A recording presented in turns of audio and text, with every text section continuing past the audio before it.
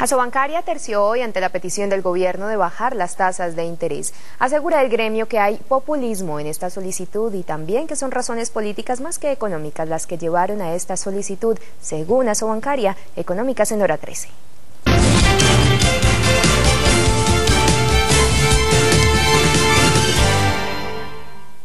Yo tenía una platica aquí, ve.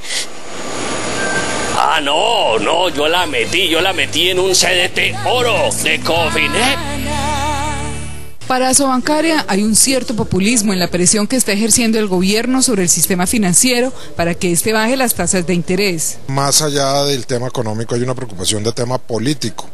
Eh, pero usualmente cuando uno empieza a tomar determinaciones económicas con objetivos políticos por detrás, pues en últimas eh, la eficacia económica de las medidas se perjudica. Según la presidenta de la Agremiación Financiera Nacional, el gobierno debe permitir que sea la dinámica de los mercados bancarios la que resuelva ese debate. Las políticas monetarias tardan, tardan en filtrar a la economía, así como cuando subieron las tasas y el gobierno buscaba hace un año, más bien era que los bancos no prestaran, porque venían pues, prestando a tasas, por ejemplo en el caso de consumo 40% de aumento pues fue lento en el sentido que se demoró casi 12 meses en bajarse a 14.